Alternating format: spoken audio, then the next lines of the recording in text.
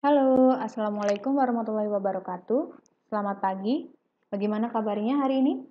Semoga kalian selalu senantiasa diberikan kesehatan oleh Allah Subhanahu wa taala dan e, semangat untuk lebih giat belajar mencapai impian. Oke. Kembali lagi bersama Ibu Keti di channel YouTube SMK Bisma Kersana Official. Kali ini kita akan belajar tentang materi turunan fungsi aljabar, khususnya kelas 12. Oke. Kemarin kita sudah belajar tentang eh, sifat-sifat uh, turunan. Ada empat, empat sifat, atau lima sifat ya. Lima sifat. Selanjutnya kita akan mempelajari sifat-sifat turunan yang uh, lebih kompleks yaitu sini kita lihat sifat turunannya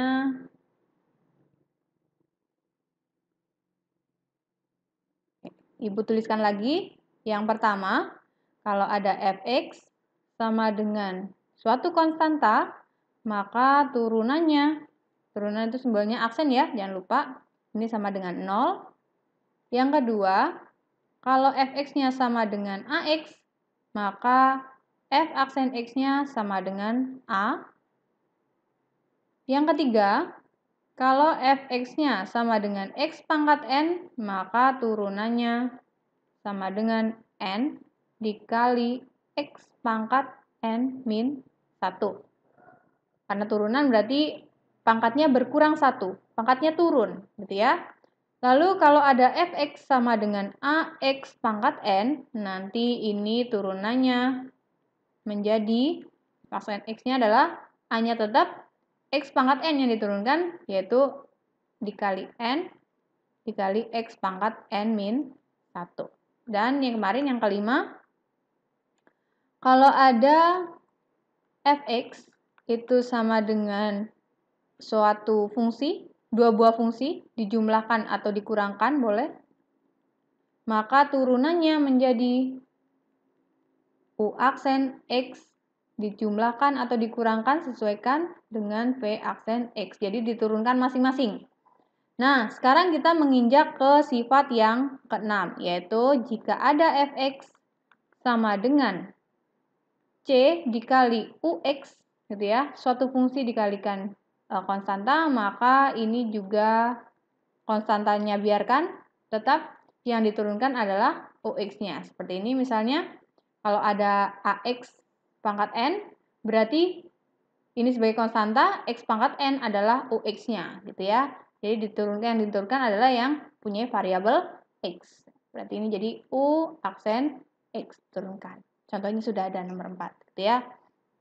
Dan yang ketujuh, jika ada fx ini sama dengan ux dikali vx atau biasanya ibu langsung tuliskan sebagai U kali V, maka ini turunannya kalian harus ingat yang depan dulu diturunkan dikalikan ini O aksen dikalikan V ditambah kalau perkalian itu ditambah lalu yang belakang yang diturunkan berarti U-nya tetap V aksen gitu ya. Jadi seperti itu.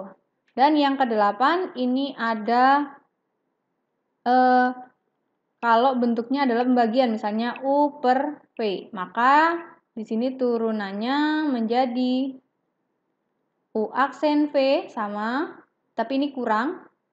U V aksen per V kuadrat. Nah, nanti kalian nanti Ibu akan menjelaskan dari uh, yang nomor 6 hingga nomor 8. Baik, Ibu jelaskan dulu yang nomor 6 tadi sifatnya adalah Y sama dengan misalnya C dikalikan UX. Nah, berarti ini tadi turunannya Y aksen sama dengan C dikali U aksen X. Baik. Contoh. Misal ibu punya fungsi Y sama dengan 4 X kuadrat min 5. Nah, berarti di sini 4 itu adalah sebuah konstanta, lalu ini bisa kita anggap sebagai, uh, sorry, ini U X ya, fungsi baru. Nah, berarti turunannya ini Y aksen sama dengan 4-nya tetap kita turunkan yang ini sendiri. X kuadrat min 5. X pangkat 2, berarti dalam kurung ya, 2-nya turun, X-nya pangkat 2 min 1, dikurangi, kalau konstanta tadi adalah turunannya 0, sehingga kita peroleh 4, 2, X pangkat 2 min 1, berarti 2 pangkat eh, X pangkat 1. Kalau pangkatnya 1 berarti tidak usah ditulis pangkatnya. Dikurangi 0 berarti tetap ya 2X. Sehingga kita peroleh 4 kali 2 di 8X. Seperti itu. Nah, berikutnya untuk contoh nomor 7 yaitu misalkan kita punya sebuah fungsi Y sama dengan U kali V. Tadi perkalian dua fungsi ya, berarti ini tadi turunannya adalah U aksen V ditambah UV aksen. Kita lihat, misalnya contoh. Ibu punya e, fungsinya Y sama dengan 2X kali 4X kuadrat min 3 misalnya ya. Berarti di sini Ibu bisa misalkan si 2X ini sebagai U, ini sebagai P berarti turunannya apa? Y aksen, U aksen. Oke, dari sini. U aksen berarti kalau U-nya sama dengan 2X, U aksen sama dengan 2 ya. Kalau misalnya V-nya sama dengan 4X kuadrat min 3, turunannya V aksen apa? 4-nya tetap, 2-nya turun, X ya, pangkat 1, min 3 min 0 ini berarti sama dengan 8x. Nah, sehingga kita peroleh U aksen V ditambah UV aksen. U aksennya apa tadi? U aksennya adalah 2. V-nya 4x kuadrat min 3. Ditambah U-nya apa? U-nya 2x. Ya, U-nya 2x. V aksennya apa? 8x. Nah, kali 8x. Sehingga kita bisa sederhanakan ini kita gabungkan nih 8x kuadrat 2 kali min 3 min 6 gitu ya ditambah 2x kali 8x 2 kali 8 16 x kali x berarti x kuadrat nah sehingga ada sama-sama x kuadrat kita gabungkan 8 ditambah 16 sama dengan 24 betul tidak?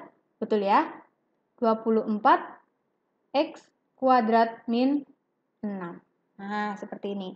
Jadi, turunan dari Y sama dengan 2X dikalikan 4X kuadrat min 3 menjadi 24X kuadrat min 6.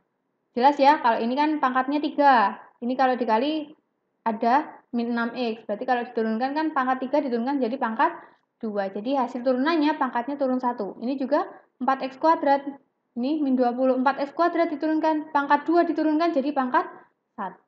Seperti itu. Paham? Semoga paham ya, insya Allah paham.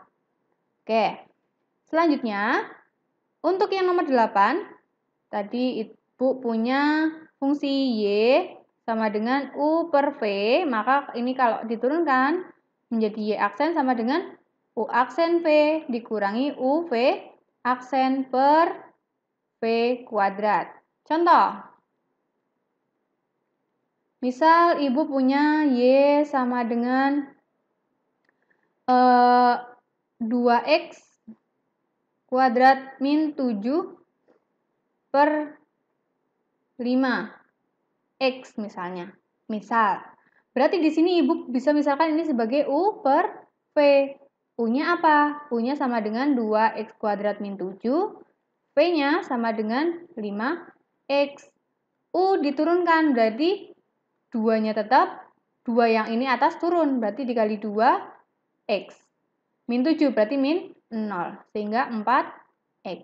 Sedangkan P-nya kalau diturunkan jadi 5X jadi 5. Nah, sekarang kita lihat. Y aksennya apa menjadi? U aksen P berarti U aksen. Oh, 4X dikali V-nya. V-nya apa tadi? V-nya adalah 5X. dikurangi U-nya apa tadi? 2X kuadrat min 7. Terus V aksennya berapa? 5. Dibagi dengan V kuadrat. V kuadratnya apa? 5X. Jadi 5X dikuadratkan. Dikalikan 4 kali 5, 20. X kali X, X kuadrat. Dikurangi 2 kali 5, 10. Ini X kuadrat min 7 kali min 5 min 35 Oke. per 5 kuadrat 5 kali 5 25 x kuadrat sehingga 20x kuadrat dikurangi 10x kuadrat tinggal 15x kuadrat min kali min. Berarti plus 35 per 25x kuadrat. Nah seperti ini jawabannya. Itu ya. Jadi uh, pangkatnya karena di sini pangkatnya kalau pembagian berarti pangkatnya yang tadinya satu menjadi dua karena lebih kecil lagi seperti itu. Oke, nah itu eh, sifat-sifat uh, turunan dari fungsi aljabar. Berikutnya untuk sebagai latihan, ibu akan memberikan beberapa soal Nah, silakan kalian kerjakan sesuai dengan contoh yang telah Ibu berikan. Jadi hanya ada mungkin 5 soal saja ya. Silakan kalian kumpulkan nanti eh, pada saat pertemuan terbatas atau melalui Google Classroom atau juga via WA juga boleh ke nomor Ibu ya. Bagi yang kesulitan, banyak cara untuk mengumpulkan tugas. Berikut Ibu tuliskan soalnya. Ini tugasnya adalah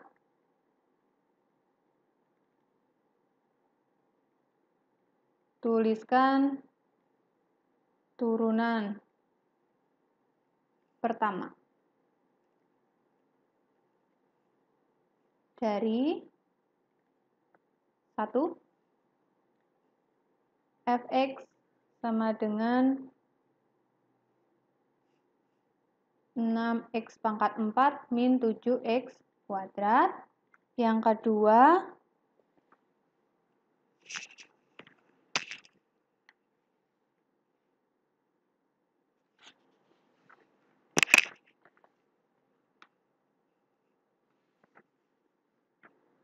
Y sama dengan X kuadrat plus 2 per 2X min 5. Yang ketiga, Y sama dengan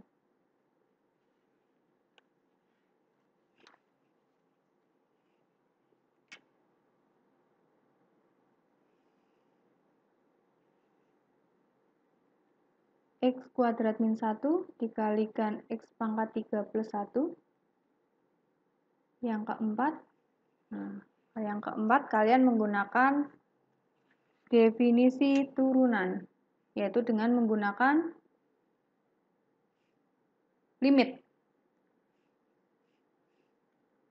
Diketahui fx sama dengan min 8 x kuadrat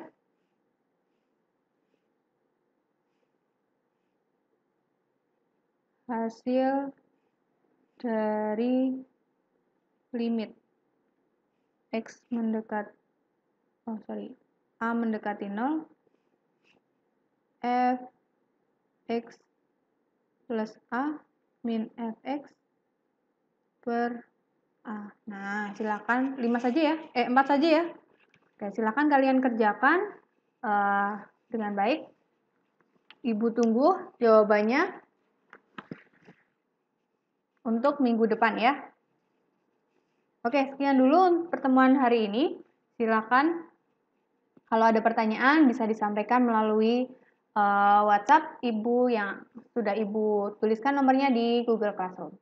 Sekian dulu untuk pertemuan hari ini. Uh, Ibu akhiri, selamat pagi. Wassalamualaikum warahmatullahi wabarakatuh.